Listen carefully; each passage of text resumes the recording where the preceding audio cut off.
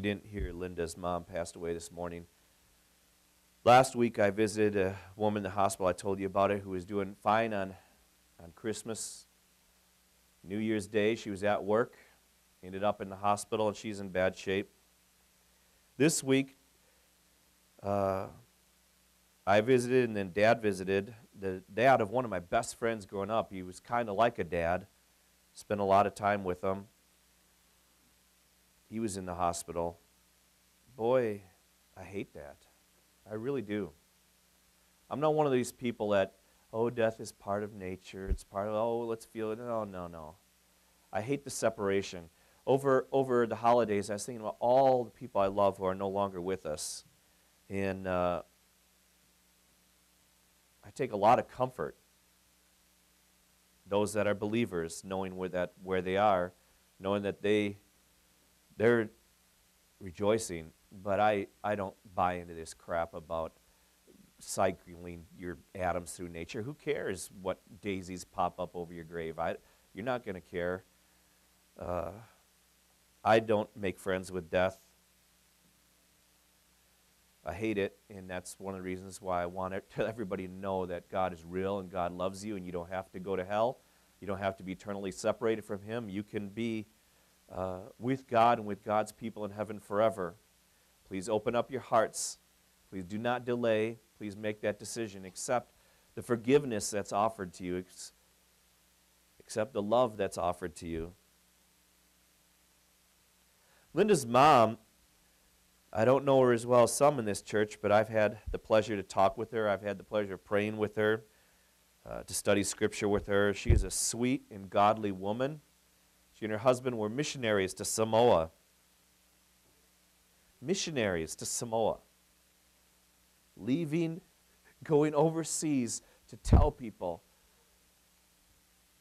that there is a God that there's a God in heaven and he loves you and he wants you to be with him. He wants to forgive all of your sins and bring you into his presence. Uh, massive heart attack. Suddenly, systems shutting down, and now this morning she passed. I want us to keep in mind the brevity of life today as we study the Word this morning, and we're going to be taking communion. Uh, we're going to be taking communion during the middle of the service. So please turn to Mark chapter 14.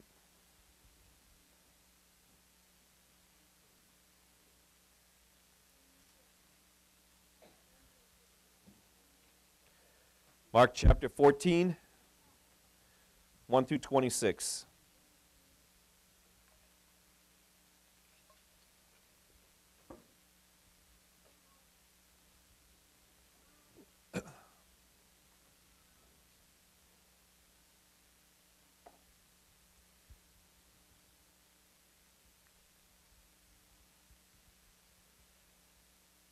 Now, the Passover and the festival of unleavened bread we're only two days away, and the chief priests and the teachers of the law were looking for some sly way to arrest Jesus and kill him.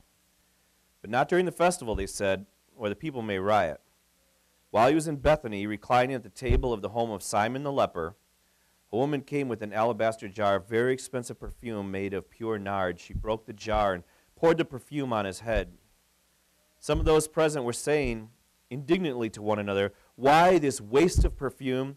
It could have been sold for more than a year's wages and the money given to the poor, and they rebuked her harshly. Leave her alone, said Jesus. Why are you bothering her? She's done a beautiful thing to me. The poor you will always have with you, and you can help them any time you want. But you will not always have me. She did what she could. She poured perfume on my body beforehand to prepare for my burial. Truly, I tell you, Wherever the gospel is preached throughout the world, what she has done will also be told in memory of her. And Christ is not only prophesying his death to come shortly, he's also prophesying that this message, which is confined to a small region around uh, Jerusalem and in Judea, will one day go out to the farther corners of the world. Then Judas Iscariot, one of the twelve, went to the chief priests. One of the twelve, one of his inner core, went to the chief priests to betray Jesus to them. They were delighted to hear this and promised to give him money, so he watched for an opportunity to hand him over. On the first day of the festival of unleavened bread, when it was customary to sacrifice the Passover lamb, Jesus' disciples asked him, Where do you want us to go and make preparations for you to eat the Passover? So he sent two of his disciples, telling them, Go into the city, this is Jerusalem, and a man carrying a jar of water will meet you. Follow him. Say to the owner of the house he enters, The teacher asks, Where is my guest room where I may eat the Passover with my disciples? He will show you a large room upstairs, furnished and ready. Make preparations for us there. The disciples left, went into the city, and found things just as Jesus had told them. So they prepared the Passover. When evening came, Jesus arrived with the twelve. While they were reclining at the table eating, he said, Truly I tell you, one of you will betray me, one who is eating with me. They were saddened, and one by one they said to him, Surely not I. It is one of the twelve, he replied, one who dips bread into the bowl with me. The Son of Man will go just as is written about him, but woe to that man who betrays the Son of Man. It would be better for him if he had not been born. While they were eating, Jesus took bread and when he had given thanks, he broke it and gave it to his disciples, saying, Take it, this is my body. Then he took the cup, and when he had given thanks, he gave it to them, and they all drank from it. This is my blood of the covenant. This is the contract, the promise. This is my blood of the covenant, which is poured out for many for the forgiveness of sins. He said to them, Truly I tell you, I will not drink again of the fruit of the vine until the day when I drink it anew in the kingdom of God. When they had sung a hymn, they went out to the Mount of Olives. Singing hymns together is part of our belief in God, our worship of God, right here uh, from the Old Testament, right here through the New Testament. Christ Himself did it. when we sing praises to God, we don't do that for ourselves, do we? The music is not for us, the music is to praise God in heaven. But today, when we were singing, I kind of felt like we were singing for Linda. And uh, together, reaffirming these beautiful truths that we have. It's important that we do things together as a church. Brothers and sisters, communion, the Lord's Supper, Eucharist, it's open to anybody who's put their faith in Jesus Christ. If you've come to a point in your life where you're saying, I'm not going to trust in myself anymore, I know I'm a sinner, I know I've messed up in so many ways, and I'm not going to make an excuse for it, I'm not going to defend it. I don't want to try and explain it away. I just want to come clean and say, God, I know. I know, Lord, fall so far short of your holy standards. And if you said to God, Lord God, please forgive, I want to I want to be part of your family. I want to be your people. Forgive my sins. Holy Spirit, come into my life. Thank you, Jesus, that you died for me on the cross. Then we are one family brothers and sisters for eternity. And I want to welcome you. Take communion today. It's a symbol of our unity. We're in communion with God because of, and with each other because of the blood and the body of Jesus Christ. Communion is for those who've surrendered their wills, who have given themselves to God. If that's you, if that describes you this morning, dear brother, dear sister, Let's eat together as a family should. Thank you, dear Savior.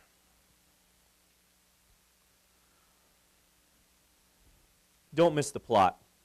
Right before the cross, don't miss the plot. Chapter 14, from verse 27.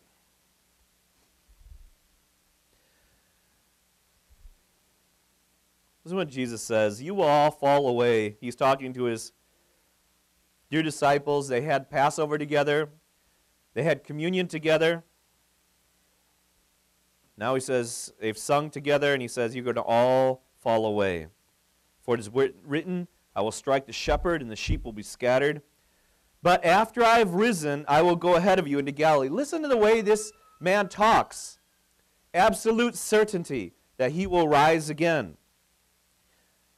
But after I have risen, I will go ahead of you into Galilee. Peter declared, Even if everyone falls away, I will not. Truly, I tell you, Jesus answered, Today, yes, tonight, before the rooster crows twice, you yourself will disown me three times. But Peter insisted emphatically, Even if I have to die with you, I will never disown you. And all the others said the same. They went to a place called Gethsemane, and Jesus said to the disciples, Sit here while I pray. He took J- Peter and James and John along with him and he began to be deeply distressed and troubled. My soul is overwhelmed with sorrow to the point of death, he said to them. Stay here and keep watch. Going a little farther, he fell to the ground and he prayed, If it is possible, the hour might pass from him. Abba, Father, he said, everything is possible for you. Take this cup away from me. Yet, not what I will, but what you will. Then he returned to his disciples and found them sleeping. Simon, he said to Peter, are you asleep? Could you not keep watch with me for one hour? Watch and pray so that you will not fall into temptation. The spirit is willing, but the flesh is weak. Once more he went away and prayed the same thing. When he came back, he found them sleeping because their eyes were heavy. Let's try to stay awake at church. It's just a little, let's inject that. They did not know what to say to him. Yep. Returning the third time, he said to them, Are you still sleeping and resting? Enough. The hour has come. Look, the Son of Man is div- being delivered in the hands of sinners. Rise, let's go meet them. Here comes my betrayer. Just as he was speaking, Judas, one of the twelve, appeared. With him was a crowd armed with swords and clubs, sent from the chief priests, the teachers of the law, and the elders. Now the betrayer had arranged a signal with them The one I kiss is the man. Arrest him and lead him away under guard. Going at once to Jesus, Judas said, Rabbi, and kissed him. The men seized Jesus and arrested him. Then one of those standing near drew his sword and struck the servant of the high priest, cutting off his ear. Am I leading a rebellion, said Jesus, that you have come with swords and clubs to capture me? Every day I was with you, teaching in the temple courts and you did not arrest me, but the scriptures must be fulfilled. Then everyone deserted him and fled. A young man wearing nothing but a linen garment was following Jesus. When they seized him, he fled naked, leaving his garment behind. They took Jesus to the high priest, and all the chief priests, the elders, and the teachers of the law came together. Peter followed him at a distance, right into the courtyard of the high priest. There he sat with the guards and warmed himself at the fire. The chief priests and the whole Sanhedrin were looking for evidence against Jesus so that they could put him to death, but they did not find any. Many testified falsely against him, but their statements did not agree. Then someone stood and gave this false testimony against him. We heard him say, I will destroy this temple made with human hands, and in three days I will build another not made with hands. Yet even then their testimony did not agree. Then the high priest stood up before them and asked Jesus, are you not going to answer? This is a testimony that these men are bringing against you. But Jesus remained silent and gave no answer. Then the high priest asked him, Are you the Messiah, the Son of the Blessed One? I am, said Jesus. And you will see the Son of Man sitting at the right hand of the Mighty One, coming on the clouds of heaven. The high priest tore his clothes. Why do we need any more witness? You have heard this blasphemy. What do you think? They all condemned him as worthy of death. Then some began to spit at him. They blindfolded him, struck him with their fists, and said, Prophesy. And the guards took him and beat him. While Peter was below in the courtyard, one of the servant girls, one of the high priests, came by. When she saw Peter warming himself, she looked closely at him. You, were, you also were with that Nazarene, Jesus, she said. But he denied it. I don't know or understand what you're talking about, he said, and went away into the entryway. When the servant girl saw him there, she said again to those standing around, This fellow is one of them. Again, he denied it. After a little while, those standing near said to Peter, Surely you are one of them, for you are a Galilean. He began to call down curses and he swore at them. I don't know this man. I don't know this man you're talking about. Immediately the, rooster crow, the rooster crowed the second time. Then Peter remembered the word Jesus had spoken to him Before the rooster crows twice, you will disown me three times. And he broke down and he wept bitterly.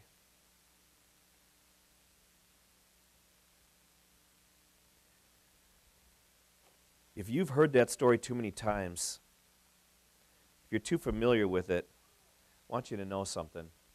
That story is unique in all religions in so many ways. I often think about this as I read my Bible. I think that Jesus and his handful of followers sat around a table 20 centuries ago. He was betrayed with a kiss by one of his closest confidants. He was mocked and beaten, condemned falsely about 20 centuries ago, and that changed the world. There's no precedent for this. There's nothing else like it in, in actual history or in mythology, in mythology ever. Today, millions upon millions of people from every nation on earth are at church. Untold millions of people love Jesus. Untold millions of people said, Lord, forgive my sin, and found forgiveness. From every people group on the planet, filled with love and gratitude because of the one who came to die for their sins and rise again to bring them the hope of eternal life. And somehow, this message, again, written by mostly shepherds in the Old Testament, mostly fishermen in the New Testament, has found its way into every culture, in every generation, from the halls of Princeton, Oxford, Harvard, to the jungles of Samoa, to the jungles of Papua New Guinea, to the jungles of India, South America, Africa, everywhere. Every religion on earth can only be imagined, try this, in the context of the culture of its birthplace. You cannot think about Islam apart from Arabic in, in Arabia. You can't think of, uh, you can't think of uh, Buddhism apart from India and China. You can't think about Hinduism outside of India. It's Indian to its core. But no one language, no one culture, there's no nation on earth that claims it can claim it owns Christianity.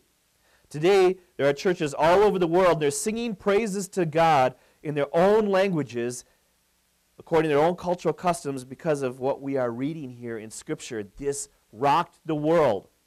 And you're being disingenuous if you don't recognize this is a completely different scale. This is completely different than any other religious story out there.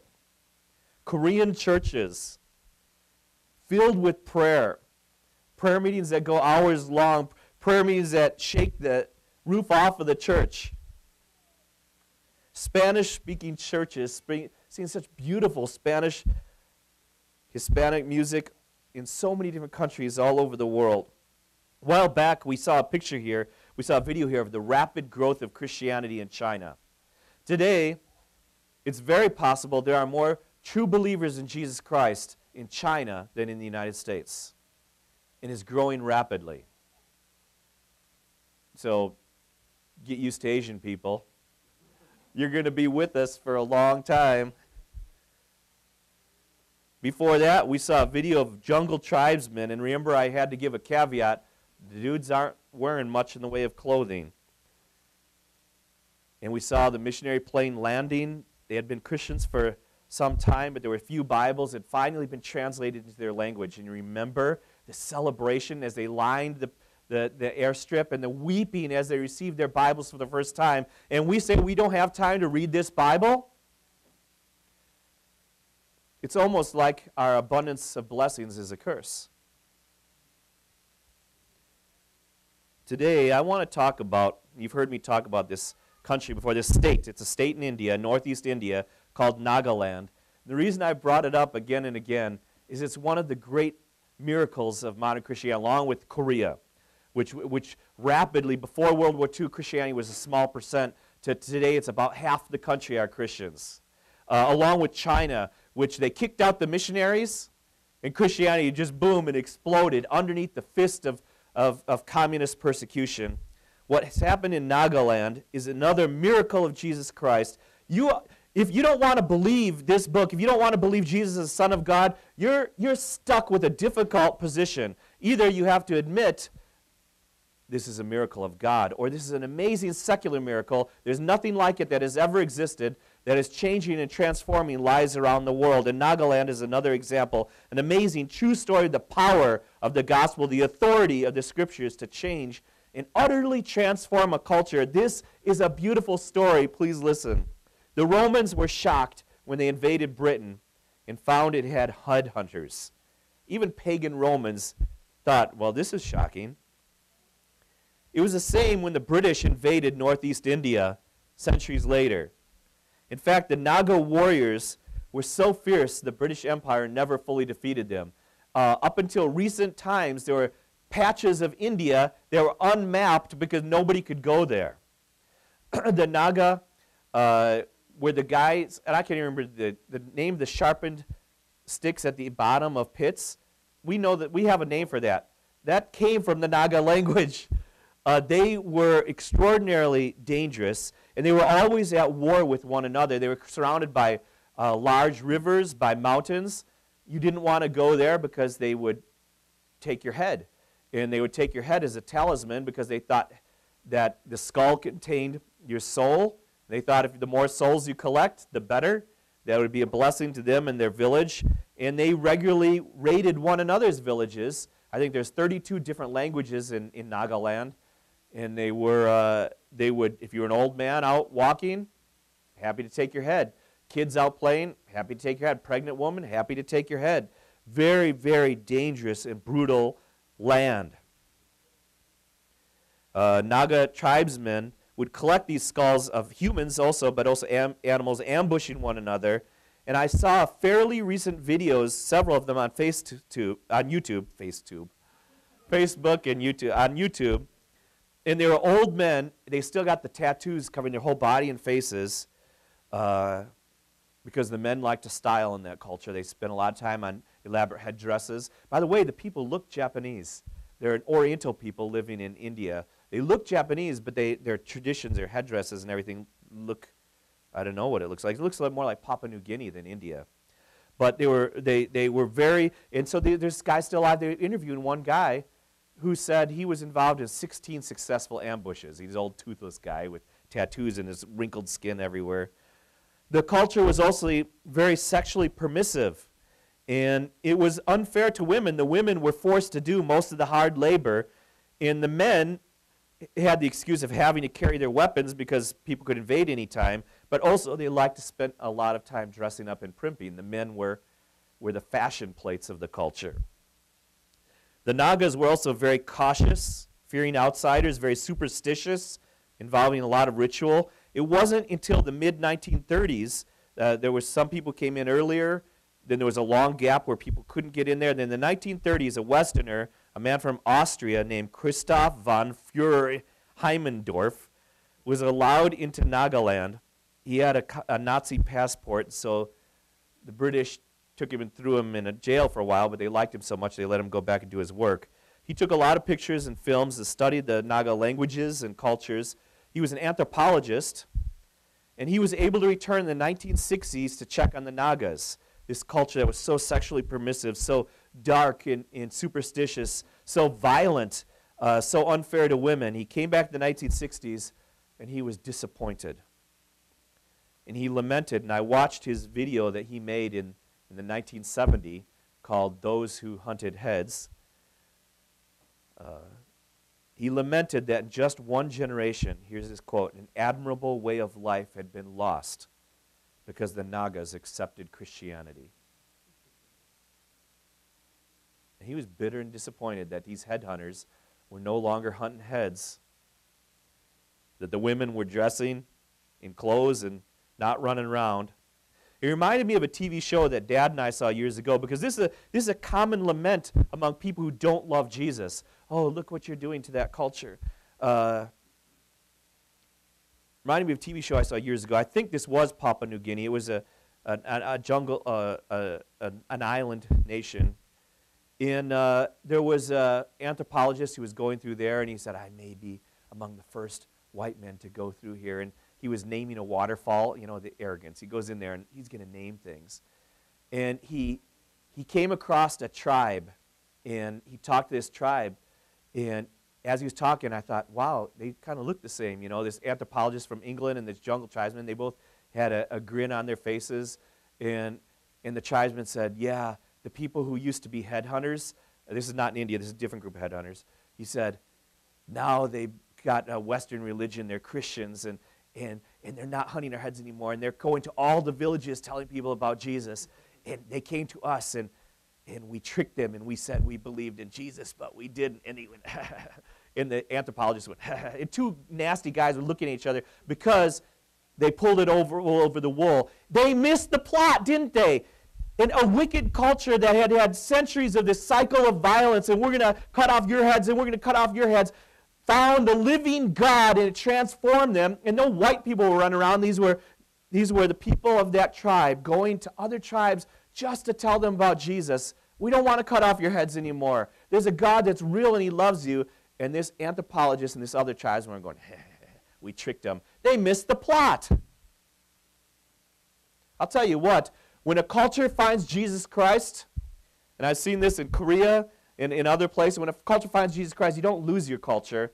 Your culture expresses itself in the most beautiful way it possibly could. And there's nothing more beautiful than hearing uh, people from different tribes, different nationalities, singing to God praises in their own language, wearing their own cultural clothing, wear, singing their, with their own language, reading Bibles in their own language. It's a beautiful, beautiful thing. They missed the plot. And this, going back to Nagaland, about this anthropologist, this Führer Heimmendorf guy, lamenting that in just one generation, Nagaland had changed. This was the end result of seeds planted 90 years earlier by a man who decided to be a missionary.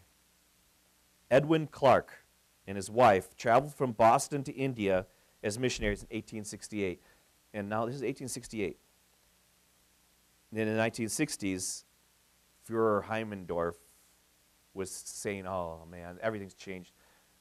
What might happen in Samoa? Well, Samoa's got a lot of Christian, Christianity already, but I was thinking about uh, Linda's mom and dad, the seeds that they planted of faith, and how that echoes in eternity. The things we do for Christ change eternity. Uh, they traveled from Boston to India as missionaries in 1868. When they got to India, he was working among uh, predominantly Hindu peoples, but he, he knew about these horrible headhunters. He said, just over the mountains, there are untold numbers of people who don't know the love of God. And it broke his heart. And his man, he and his wife, had a passionate desire to go tell the headhunters about Jesus Christ. At first, the British government would not permit him into Nagaland. And so he, providentially, he met a, a Naga tribesman baptized him, and he went back and was a bridge that reached the, the gospel. But if you know anything about the history of a history of missions, the British government, people have an idea that England went everywhere and they're pushing Christianity in Western culture. That is so far from the truth. The British government, well, especially the, the East Indian Tea Company, they would go and they wanted control lands to make money. They often would throw Christian missionaries in jail the British government wanted two things they wanted money and they wanted uh, uh, safety, they wanted stability within the lands.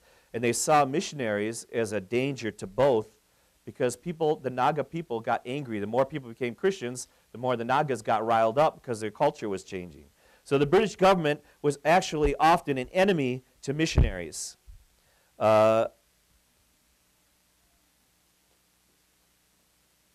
However, after a few years, nine Nagas were baptized in 1872. So 1872, you had nine Nagas baptized. They planted the first church in Nagaland the same year on December 22nd, 18, 1872, I believe, and 28 members celebrated their first communion as a church. So I thought that was neat. We're celebrating communion today. Back in 1872, 28 headhunters, headhunters, were celebrating the body and the blood of Jesus Christ, just like we do in their brand new church. So I want to ask you, what could God do with 28 former headhunters? Well, God can't do anything with 20. Oh, come off it.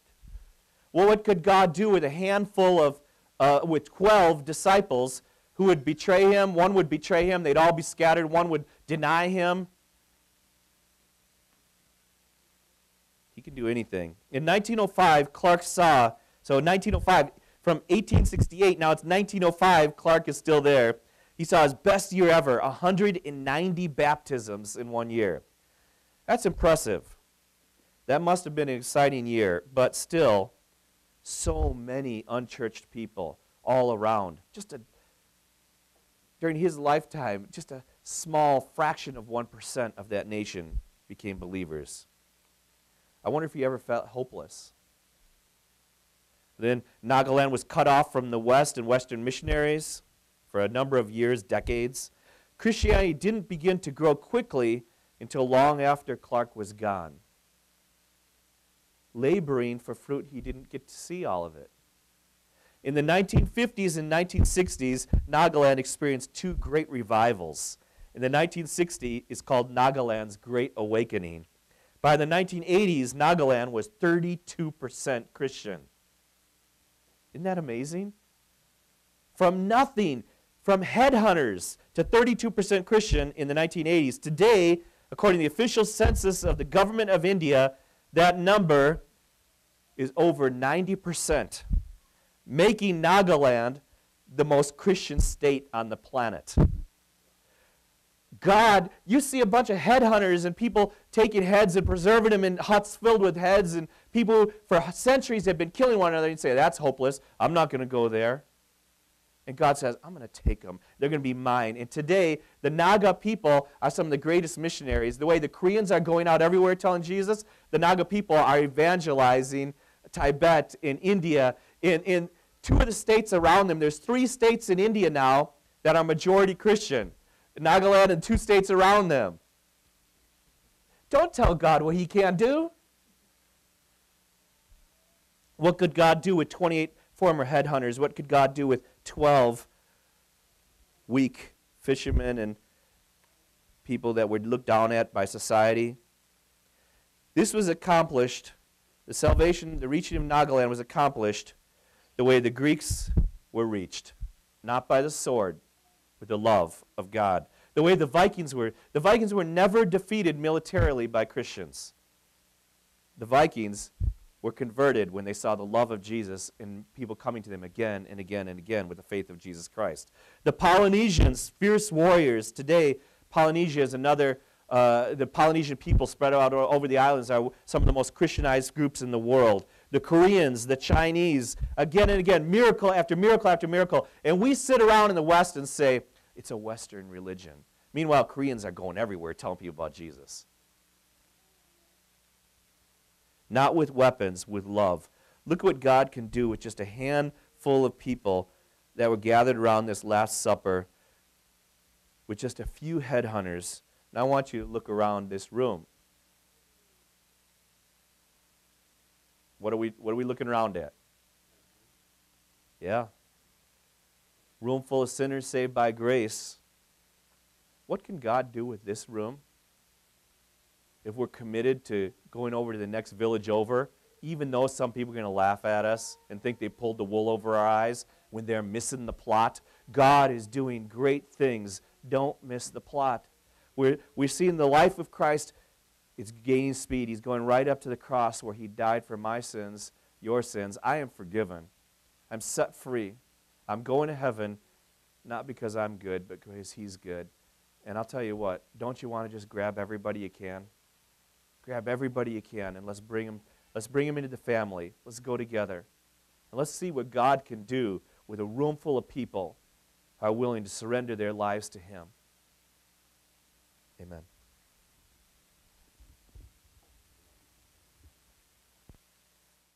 Hello, my name is Pastor Dan Wolf from Foundation Bible Church. Thank you for watching Foundation Television. Uh, the reason our church does this is so we can reach out into our community and share the love of Jesus Christ. We have a good God. We have a God who loves us, a real God who really cares. And it's, He's put it on our hearts to try and uh, share this message that God is there for people, that there is God who's willing to meet them where they are at and to love them and forgive them. But it's also on my heart that uh, there's parts of church that you just uh, you just can't experience in front of a television screen or on a computer screen. Uh, Jesus wants us to come together as one family, all different kinds of people from different nationalities, different income levels, different education levels, maybe people that normally wouldn't even uh, hang out outside of a church setting, but we're united by Jesus and He brings us all together. But I really want to encourage you, if you're able to, to take that step, leave your comfort zone at home, uh, find a good church to go to. We have so many good churches in the area. And I'm sure you're going to go there. You're going to be loved. You're going to be blessed. You're going to be encouraged. People are going to care about you. There's no reason we have to do life alone at home, but we can get out and meet with other people who are on this journey to, to, to know God better and to allow Him to reach into our lives and, and uh, let His grace rest upon our lives. So, uh, again, I just want to encourage you. Thank you for watching. But if you can get out on a Sunday morning, boy, we would love to see you. Thank you. Hi, this is John with Foundation TV. You know, Foundation Church is a small church uh, here in Janesville. We do a lot with the size of the congregation that we have, uh, and we've been really pleased to host Foundation TV for many years. Uh, however, due to budget constraints, we're no longer able to do that at this time. Uh, if you would like to find Foundation TV, we're still available on YouTube uh, at the address below and on local access channels 98 and in HD 994. Thanks. Thanks for watching. Foundation TV is a ministry of Foundation Bible Church, Janesville, Wisconsin. Find us online at foundationbiblechurch.com.